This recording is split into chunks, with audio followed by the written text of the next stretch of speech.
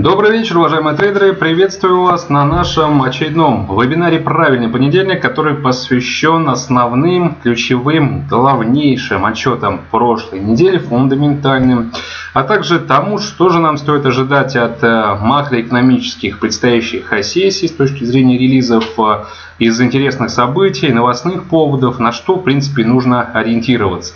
Поэтому, с вашего позволения, давайте не будем терять времени, перейдем сразу к тому, что мы наблюдали в ходе прошлой пятидневки. Она оказалась довольно-таки интересной под стать тому фундаменту, который и закладывался в основу наших спекулятивных ожиданий.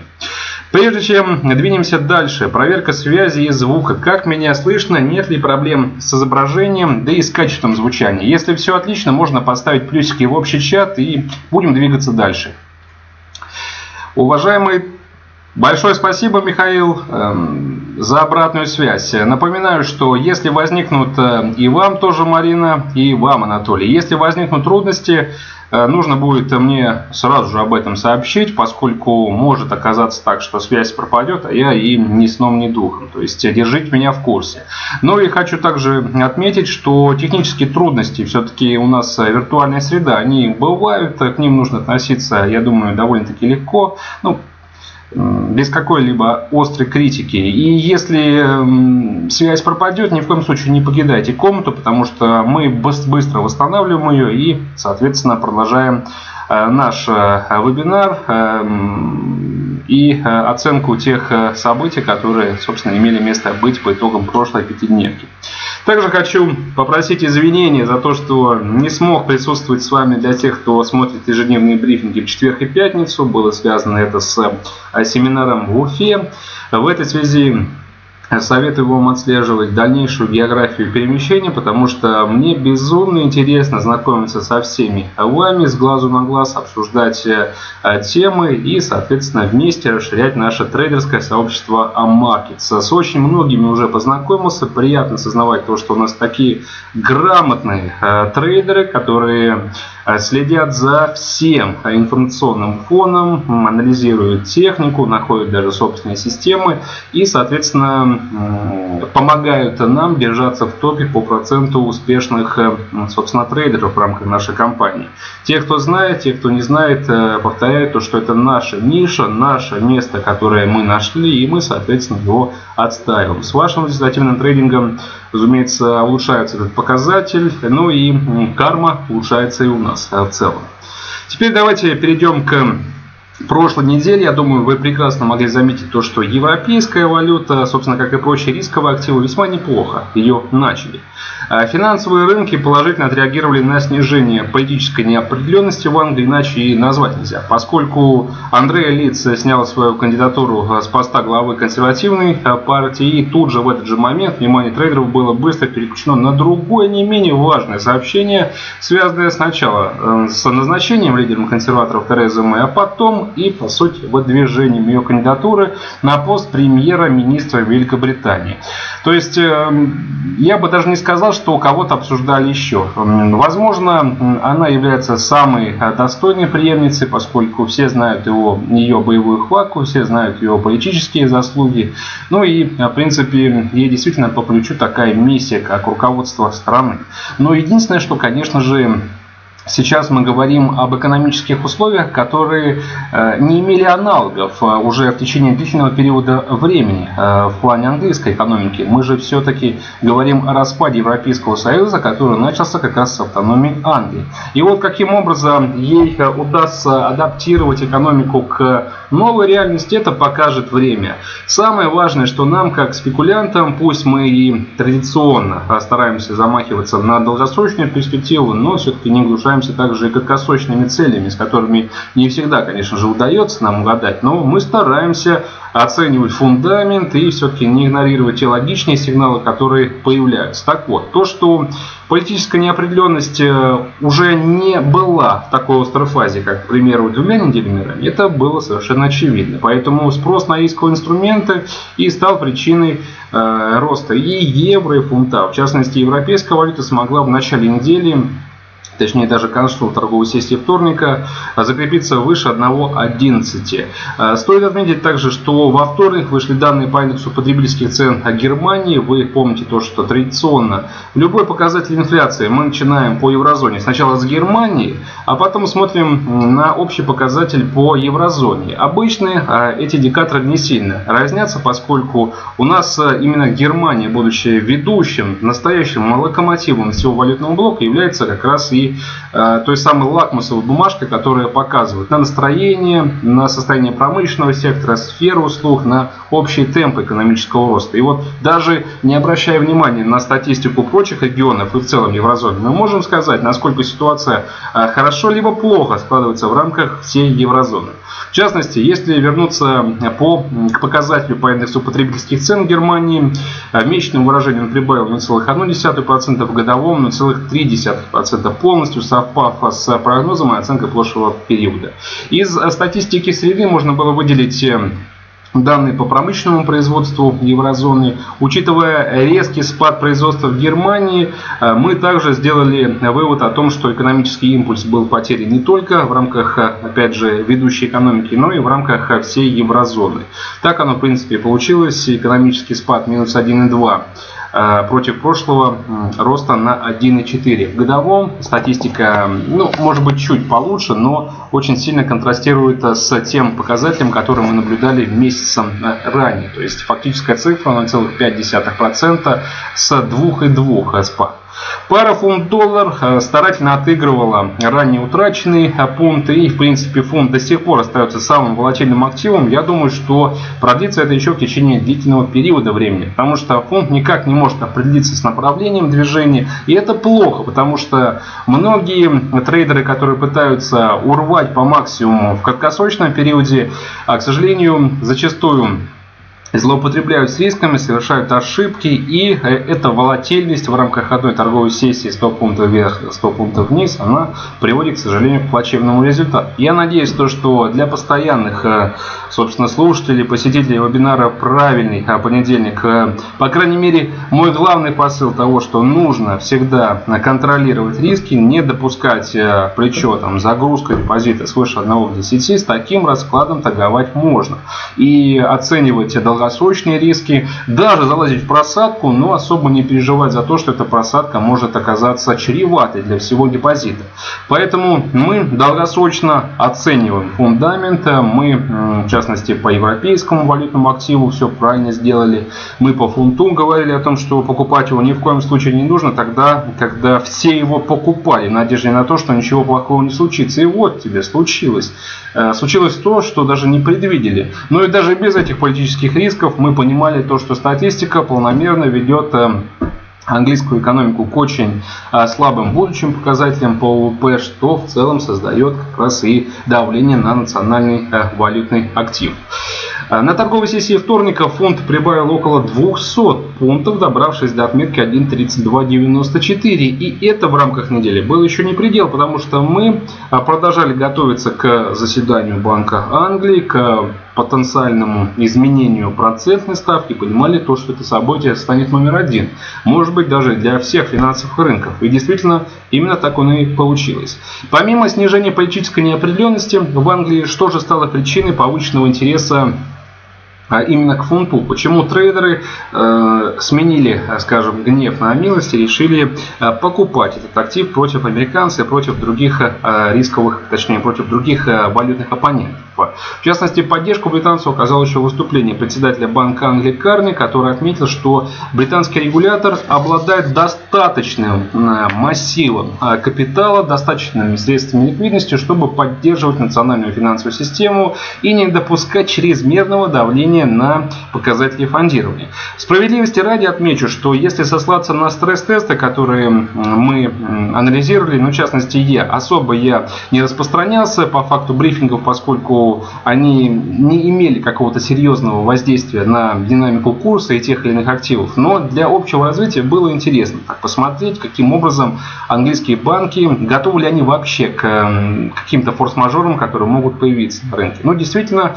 банки стресс-тестирование прошли очень неплохо. И мы понимаем то, что, может быть, отталкиваясь от того, что коммерческие банки пока что твердо стоят на своих ногах, оптимистичные комментарии э, со стороны Карни о том, что ликвид, с ликвидностью все в порядке и в случае чего Банк Англии готов э, рассматривать возможность альтернативных инструментов, чтобы в случае чего э, снижать давление на финансовую систему. Это усилило оптимизм и еще больше поддержало те позитивные тренды, которые мы наблюдали как в рамках британской фондовой секции, так и в отношении британского валютного актива. Однако стоит отметить также, что снижение процентной ставки, а, собственно, так же, как и новые способы стимулирования, это по-прежнему наиболее вероятный сценарий дальнейшего изменения денежно-кредитной а, политики. Особенно в свете принятого собственно, также на позапрошлой неделе еще э, решение по снижению э, нормативов обязательного резервирования для коммерческих банков. Вы помните, что это событие ставило номер один для э, рынка Англии, поскольку трейдеры решили, что это как раз та самая первая ласточка, которая сигнализирует о том, что Банк Англии поддерживает, точнее отстаивает статус проактивного регулятора. И в отличие от других регуляторов, как, к примеру, Банк Японии, Европейский центральный банк, Банк Англии решает проблемы проблему до ее фактического появления. Он знает, чем чревато эм, выпадение состава Европейского Союза, знает, э, к чему этот э, сценарий э, при негативном развитии может привести через пару лет, и уже сейчас, скажем, действует на опережение, и не дожидаясь вот реализации рисков, о которых мы с вами постоянно говорим, решил, что нужно поддерживать коммерческие банки, высвобождать ликвидность, кредитовать рынок, и, возможно, я надеюсь, и, честно говоря, вот прям заявляю со всей ответственностью, что 4 августа, когда состоится следующее заседание Банка Англии, мы увидим снижение процентной ставки хотя бы на 0,25%. Э, соответственно, для фунта это серьезный фактор давления и разгрузки, которому, будем надеяться, фунт э, начнет готовиться уже сейчас, поскольку, на мой взгляд, текущие значения они высоковаты для фунта против доллара. Хотя я допускаю то, что мы снова увидим поход в район 1.35, но, наверное, это будет потолок. Сейчас лучше искать возможности для долгосрочных э, продаж.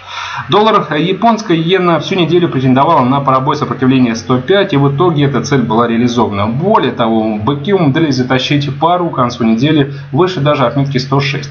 Иена оставалась под давлением на фоне ожиданий поддержки со стороны национальных монетарных властей. Э, напомню, что основной импульс э, разговором о том, что без стимулов э, Япония не останется был положен после того, как э, на выборах Верхнюю палату парламента одержала э, победу партия э, текущих либералов во главе с Синзабе. И Синзабе, в принципе, мы знаем, как руководитель, не гнушающийся, собственно, агрессивным стимулированием, нетрадиционными способами монетарной поддержки, да он еще, ко всему прочему, умудрился в понедельник вот так вот просто в ходе своего интервью закинуть новость на рынок о том, что всем трейдерам, которые сейчас специализируется на торговле японской валюты, стоит готовиться к расширению программы QE как минимум на 10 триллионов йен в год. Это неплохой, конечно же, шаг, важный, я думаю, что необходимый. Очень странно, что Банк Японии пока тянул резину и не задействовал а, его раньше. Но, может быть, на то были причины, может быть, Банк Японии все-таки побаился США, которая уже давно обвиняют этот регулятор в развязывании девиляционных войн. Может быть, Синза Абе хотел э, дождаться очередной победы, понять то, что место лидера э, либералов э, и, собственно, кресло премьер-министра за ним теперь на будущие три года, и после этого уже действовать. Но в любом случае, факт остается фактом. У нас есть прежний агрессор с точки зрения стимулов. У нас есть сейчас ожидание того, что Банк Японии пойдет на экономическое финансовое стимулирование, возможно, на расширение программы количественного смягчения. И у нас есть все основания в связи с этим ставить и дальше на ослабление японской валюты и движение пары долгосрочно в USD иена в районе 110 йен против доллара. USDK, то есть канадская валюта против доллара, в среду консолидировалась на отметке 1.30. И, честно говоря, даже сейчас, если посмотреть на текущие значения, мы далеко не ушли. Мы понимаем то, что 1.30 это перевалочный рубеж. Э, насколько эффективно будет эм, Закрепление выше, это зависит от силы доллара, в чем лично я ничуть не сомневаюсь. Ну и, соответственно, от э, слабости канадской валюты. А тут у нас также достаточно сигналов, даже исходя с прошлой недели. Согласно комментариям представителя, представителей э, Банка Канады, есть основания готовиться к снижению процентной ставки. Плюс ко всему, мы искренне, ну лично я верю в то, что нефть э, вот сейчас предпринимает последнюю бычью попытку закрепиться выше 47-48 долларов за баррель, но она не увенчается успехом, потому что по-прежнему фундаментальная картина указывает на то, что этот актив должен стоить ниже. Как только трейдеры потащат его снова в район 45 долларов за баррель, значит на канадскую валюту снова будет оказано давление, мы наконец-таки сможем рвануть к нашей ближайшей цели а, по USD каду на отметке 1.32. Рынок нефти также очень неплохо открыл прошлую неделю, добравшись, ну, неплохо прежде всего для тех, кто делает ставку на ослабление. Я считаю, то, что таких большинство, потому что если вы присутствуете на вебинаре, значит вы так же, как и я, оценивайте фундамент. Для вас э, фундаментальные новости и макроэкономический фон это не пустой звук, это правильная позиция, поскольку э, именно фундамент, он по сути и правит баллом на долгосрочной основе. И исходя из фундамента мы знаем то, что бренд это актив, который весьма перекуплен. И, соответственно, он должен стоить гораздо ниже. И вот э, если вернуться к начале прошлой недели, действительно бренд претендовал на движение в районе 45 долларов за баррель. Я был уже был, поверил, то, что наконец-таки вот тот самый импульс медвежий, который затащит по этот актив даже ниже. Но пока что наши предположения, ну лично мои, не совсем убедительный с точки зрения реализации, потому что в игру периодически вмешивается. Очень странно. Сначала со стороны поддержки ОПЕК, которые сигнализируют о росте предложения и то, что предложение на рынке, мировом рынке будет только увеличиваться. И другие комментарии, опять же, со стороны ближневосточного картеля о том, что в перспективе ближайшего времени, ну, к концу 2016 года и уж тем более в 2017 стоит надеяться на рост спроса и снижение предложения. Хотя здесь я пытался найти конечно же, аргументацию такого посыла со стороны ОПЕК, это было очень сложно. По сути, не нашел. Ну, в частности, ОПЕК ссылается на то, что предложение, если вы помните, будет снижаться из-за резкого спада производства в Канаде. Очень странное заявление, учитывая то, что даже канадские производители еще примерно недели три назад, если не больше, сообщили о том, что они полностью вернули к прежним объемам выработки все свободные производственные мощности. И все производственные мощности, которые были выведены из строя и приостановлены а, по факту пожаров э, в Альберте. То есть это главный регион, который специализируется на добыче нефти. Мы знаем также, что уже э, прямым ходом идет полное возобновление производства со стороны Нигерии. Растут объемы производства в Ливии, в Саудовской Аравии и Иране. Ну, о каком тогда снижении предложения вообще может идти речь? А вот что касается мировой экономики и ожидаемого роста спроса, здесь тоже у меня лично много вопросов. Возможно, прогнозы такие оптимистичные со стороны ОПЕК базировались на том факте, что э, дело не дошло до выхода Англии из состава ЕС, и вот в этом главном форс-мажоре, который сейчас является действительностью, это распад ЕС. Но сейчас э, мы знаем то, что это случилось, и поскольку не можем четко пока предвидеть все последствия, ну, хватает, собственно, у нас смелости пока говорить, что промышленность с этим явно пострадает. Посмотрим, каким образом начнут сыпаться и реагировать на это развивающиеся рынки, может быть, даже и прочие развитые площадки. Я думаю, что хорошего мы ничего не увидим, поэтому мировая экономика в лучшем случае сохранит текущие темпы прироста, а учитывая весьма мрачные, на мой взгляд, и весьма реальные Э, комментарии и прогнозы со стороны Всемирного банка, рейтинговых агентств, мировая экономика может просесть э, ниже 2% в 2017 году. Поэтому я возвращаю вас к идее э, о том, что реальность, цифры и факты говорят о том, что спроса повышенного не будет, а предложение продолжит расти. Соответственно, на бренд будет оказан прежний прессинг. Вернемся к локальной статистике, которая была опубликована. Это данные по запасам. Сначала по росту запасов в США по версии API на 2,2 против прошлого снижения на 6,7. И в среду уже вышла официальная статистика, которая указала на то, что запасы снизились на 2,5 миллиона баррелей против прошлого снижения на 2,2. Реакция оказалась э, немножко неожиданной, ну хотя э, научный уже опытом позапрошлой недели мы сделали вывод о том, что трейдеры, скорее всего, сейчас не будут активно реагировать на статистику по запасам, и наши предположения были оправданы. Сейчас э, трейдеры руководствуются другим фоном, и этот фон в двух словах был уже, в принципе, мной описан, этот фон, который создает условия для распродаж бренда. Конечно же, на этой неделе мы будем следить за запасами, но я думаю, что фундамент, который прежде всего основан на факте роста количества буровых США, он сейчас будет определяющим. Негатив, к тому же, связанный с, опять же, политическим переворотом в Турции, возможно, какие-то последствия для рисковых инструментов, он тоже будет дисконтирован стоимости э, черного золота. Так медленно, но верно наступил э, четверг, который, собственно, был у нас представлен эм, основным фундаментом по Британии, поскольку и ставка, и объем эм, выкупа активов, и протоколы, и комментарии, все в один день. Поэтому четверг, когда у нас блистает статистикой Э, Англии мы называем супер четвергом. Это не мое такое ноу-хау, это общепризнанный э, термин, который используют аналитики, эксперты, отслеживающие, опять же, ситуацию с английским, британским э, фундаментом.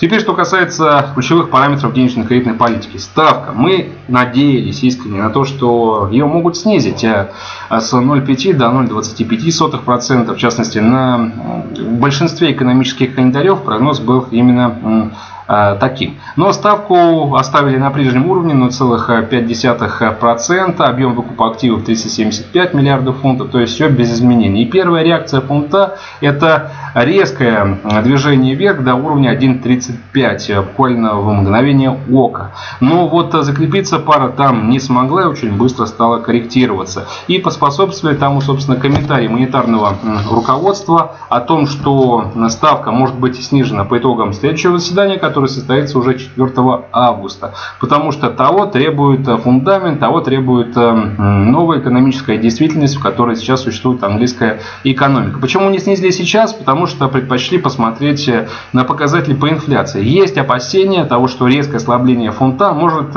серьезно разогнать индекс потребительских цен. И если мы увидим в частности, у нас завтра отчет по индексу потребительских цен Англии. То, что индикатор стремится к 2% по э, целевому годовому э, порогу, значит, действительно вероятность того, что э, ставку снизить так быстро, будет уже не так высока. Но, с другой стороны, давайте вспомним прежние комментарии Карни, которые были сделаны еще недели две назад, о том, что сейчас Банк Англии не будет руководствоваться краткосрочными рисками, связанными с возможным ростом индекса потребительских цен, и будет исходить из долгосрочных соображений соображений. Так вот, на мой взгляд, долгосрочные соображения указывают на то, что экономику нужно поддерживать, стимулировать сейчас, чтобы, опять же, отстоять проактивность а, английского регулятора и не допустить расползания а, тех рисков и негативных последствий, которые, по идее, вот должны нагрянуть эм, по целому блоку макроэкономических отчетов Англии уже в перспективе ближайших а, месяцев. И сомневаться в этом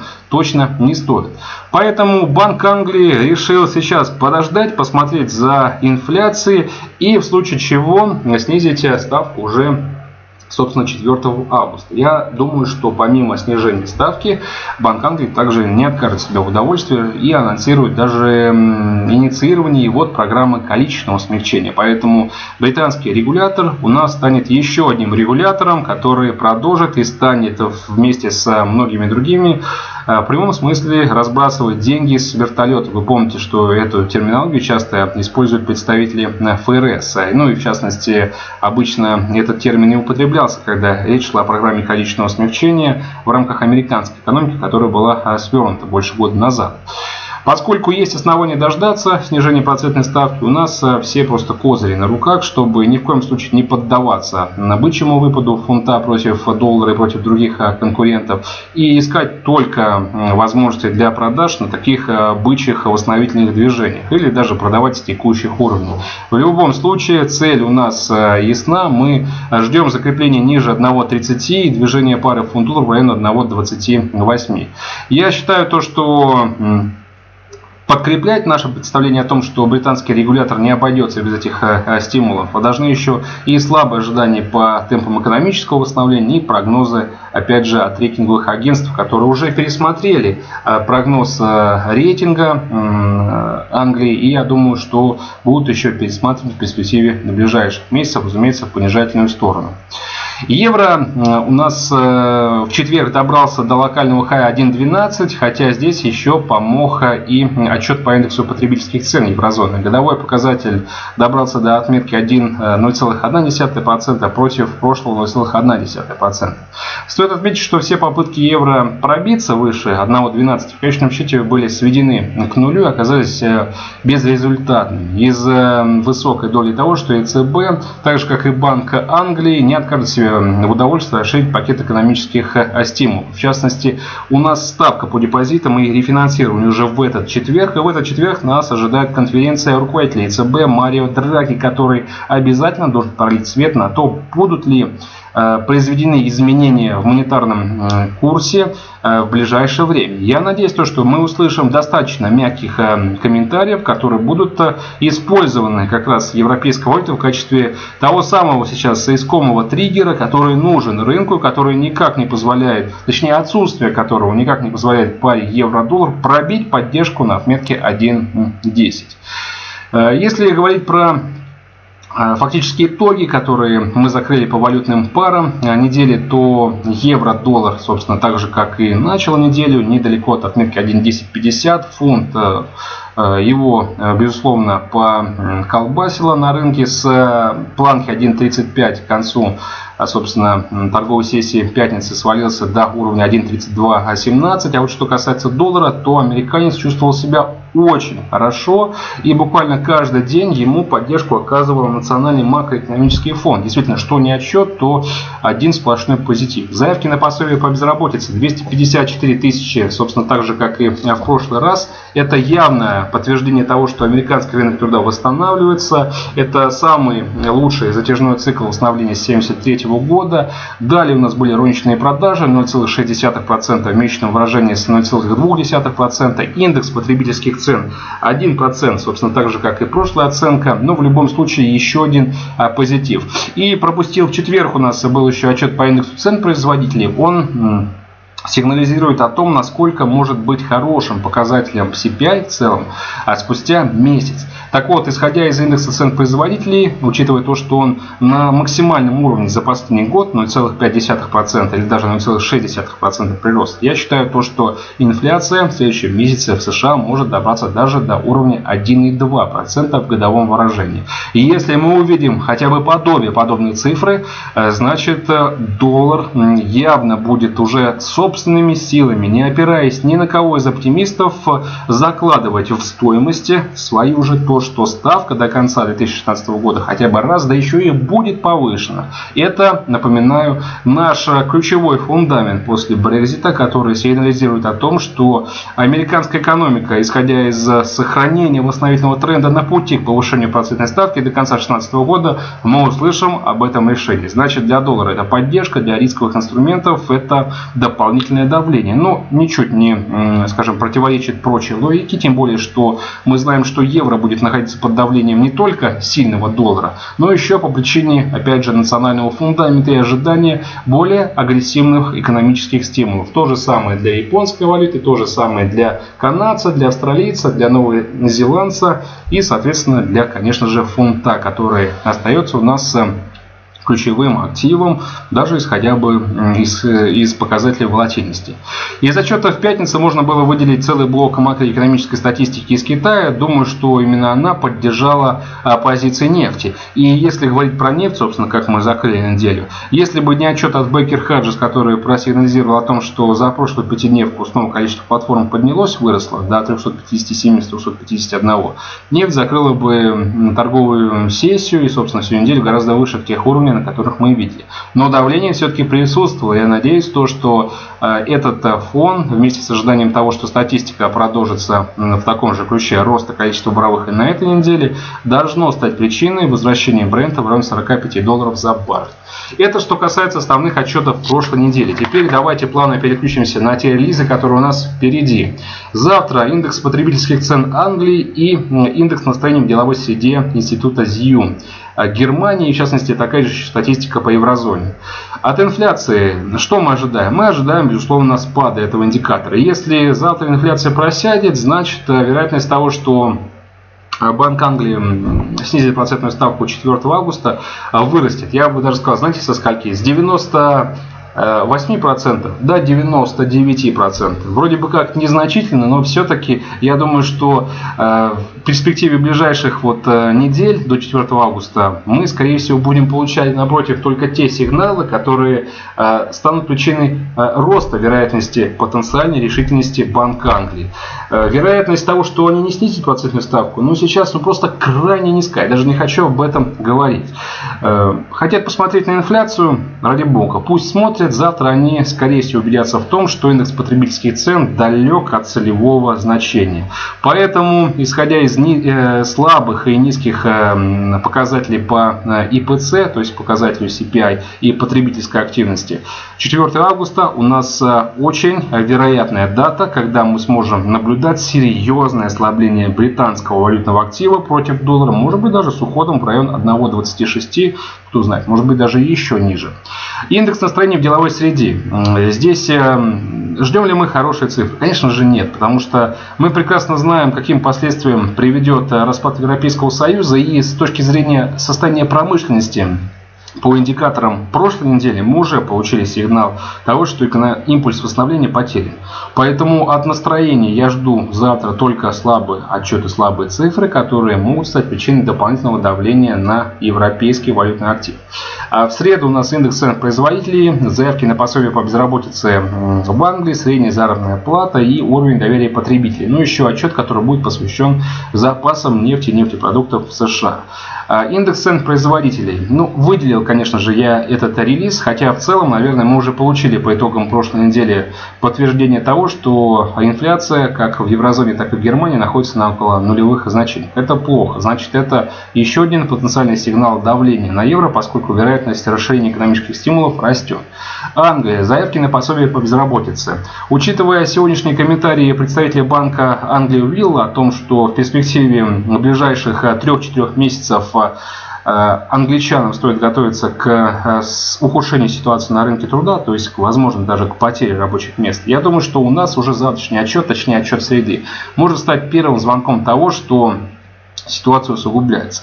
И усугубление ситуации будет вылито в конечном счете в социальные какие-то проблемы и станет еще одним фактором дополнительного давления на фунт. Поэтому какой бы отчет мы сейчас с вами не анализировали, какой бы фундамент не использовали, не искали там, ответы на то, что можно делать с фунтом дальше, я считаю то, что все указывает на то, что фунт э, на аутсайдер. И не нужно с этим спорить. В четверг у нас э, из отчетов э, решение ЦБ по депозитной ставке и ставке рефинансирования и пресс-конференции выделилось специально подчеркнутым э, жирным шрифтом, поскольку я думаю, что это не просто важнейшее событие этой недели, это важнейшее событие э, после решения Банка Англии и после британского референдума. Потому что еврозона находится под таким же ударом макроэкономически, как и Англия, и мы знаем то, что еврозона уже давно готовится к более агрессивному э, стимулированию и нетрадиционным подходу к поддержке экономики. Нам нужна более низкая процентная ставка, как тем трейдерам, которые ставят на ослабление евро и ждут более низкие э, значения по курсу против э, доллара и других конкурентов. Если есть ли вероятность снижения ставки сейчас? Я думаю, что если Банк Англии не снизил, то ЕЦБ, скорее всего, вряд ли будет торопиться. Но э, в связи с этим я хочу даже больше акцент сделать на пресс-конференцию, которая будет посвящена дальнейшим планам ЕЦБ. И вот здесь уже м, Драги обязательно Сначала выступит собственной речью, которую он уже подготовил, потом будет отвечать на вопросы. И уверен то, что он неизбежно коснется э, той э, темы, которая предполагает, э, что ЕЦБ будет более агрессивным как раз в этом экономическом стимулировании и может даже снизить ставку по депозитам, либо снова разогнать программу количественного смягчения. А, это мягкие комментарии, мягкая риторика и заявления, которые традиционно негативным образом отыгрываются в динамике пары евро-доллар. Поэтому какой бы расклад ни произошел в четверг, я считаю то, что торговая сессия будет закрыта гораздо хуже открытия. И в целом, я надеюсь, то, что четверг э, позволит нам закрыть э, день по паре э, евро-доллар ниже отметки 1.10. Ну и в пятницу день э, индексов деловой активности в производственном секторе, еще отчет по розничным продажам и индексу потребительских цен в Канаде и, конечно же, Baker Hodges, который в последнее время нас очень неплохо радует ростом количества платформ и создает давление на нефть, что, собственно, нам и нужно. А, особый акцент в пятницу я все-таки еще предлагаю сделать на канадскую валюту, поскольку снижение индекса потребительских цен, я в этом также ничуть не сомневаюсь, у нас цены на нефть снова э, стали откатываться и уже неплохо откатились, учитывая то, что буквально несколько недель назад, ну условно говоря, мы э, видели то, что эм, индекс потребительских мы видели то, что Брента э, котировался выше 53 долларов за баррель, и сейчас уже 48. То есть это больше 10% потерь. Это непременно найдет свое отражение в более слабых показателях по инфляции и, соответственно, развяжет руки Банку Канады в том, чтобы и они задумались о снижении ставки. Я считаю то, что Банк Канады снизит ставку уже в августе. То есть на август у нас очень много регуляторов, которые могут отметиться подобной решительностью. Готовимся к девляционным войнам, готовимся к давлению на сырьевые и рисковые активы и готовимся к росту американца. Поэтому подытожим, собственно, вебинар целями на, э, до конца этой недели. Евро-доллар 1.09 Out USD 0.7450, USD иена 106.6, фунта против доллара 1.31, может показаться скромной целью. Но я думаю, что если мы вот сегодня, завтра на азиатской сессии пробьем отметку 1.32, то, соответственно, уверенно пойдем ниже. Может быть, даже к поддержке 1.30. На этом все, уважаемые трейдеры. Если есть вопросы, вы знаете, что их можно задавать прямо в общий чат, либо вот специальную рубрику здесь, которая есть вопросы. Жду и постараюсь ответить. Вопросы.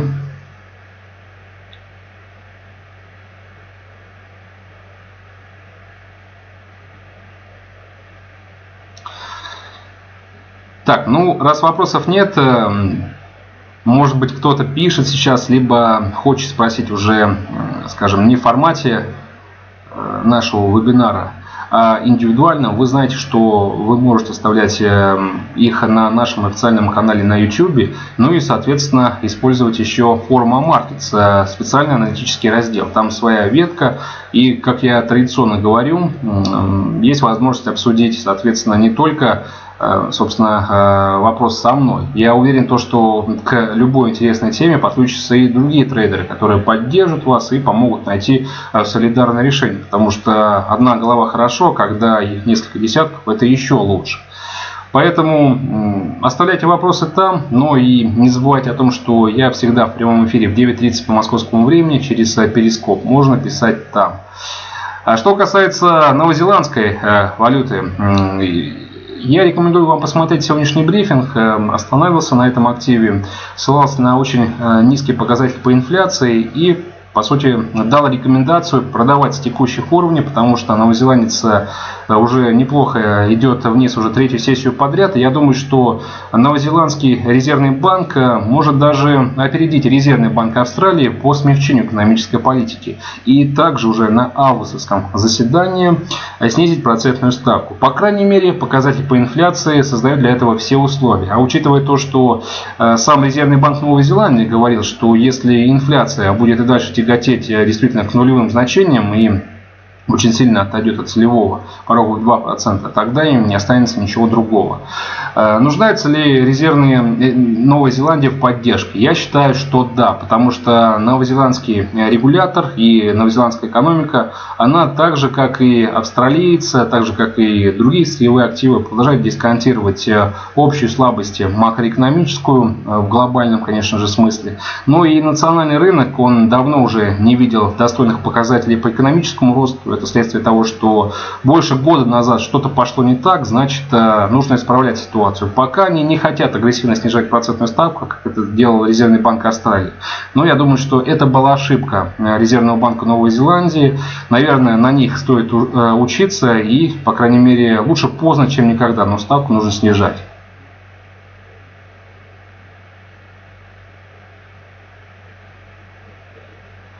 Не совсем понял, о каком активе идет речь по поводу роста.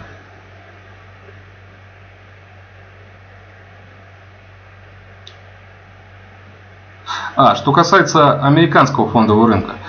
Вы знаете, интересно, конечно же, ситуация сейчас выглядит на американской фонде. Вроде бы как э, мы понимаем, что Каждый э, сильный макроэкономический отчет, как я уже отметил, не лишает нас возможности спекулировать на том, что ставки будут снижены, а если ставку снизит США, тогда это просто домоклый меч для национального фонда рынка. Ему придется неплохо корректироваться. С другой стороны, мы видим, как э, американская фондовая секция растет э, буквально на всех рисках, которые появляются в глобальном смысле. Вот, пожалуйста, соответственно, ситуацию в Ницце. Посмотрите переворот политический пусть и неудачный в Турции. Посмотрите, что происходит, э, в принципе, с Брекзитом. Не понимаю, откуда находит импульс э, американский фондовый рынок, но могу предположить все-таки, конечно же, что это связано с тем, что сейчас трейдеры просто не находят э, других активов, кроме как э, американского фондового рынка. Очень много денег сейчас утекает в американские трежи, в облигации, но это до поры до времени будет продолжаться, поскольку совершенно очевидно, рынок явно перегрет, это уже давно пузырь, который уже давно также пора схлопнуть. Если вы рассматриваете возможность все-таки занятие сделки и, соответственно, проведение операции на среднедолгосрочную основу с покупками, конечно же, учитывая актуальную новостную а, картину, лучше эм, повременить от них лучше воздержаться. Лучше даже поискать уровни, с которых можно на потенциальной коррекции от текущих максимальных уровней войти в короткую сделку и стоять там до конца 2016 года, потому что э, американский фондовый рынок процентов э, на 5-10 точно должен скорректироваться. Я надеюсь, что это произойдет вот в ближайшие месяцы. Большое спасибо вам за вопросы, за то, что поддержали беседу. Еще раз повторяюсь, если хотите получать э, комментарии, если хотите все-таки прояснить еще какую-то тему, пожалуйста, форум Маркетс и э, канал на YouTube. Под э, брифингами, под видеоконтентом оставляйте. Я слежу за, соответственно, ими и обязательно отвечу. Хорошей вам торговой недели, хорошей торговой э, сессии. Соответственно, увидимся уже завтра. Ну, либо если у вас нет времени смотреть брифинги, тогда уже на следующей неделе, в понедельник, на традиционном вебинаре «Правильный понедельник». Попутного тренда. Всего доброго. До свидания.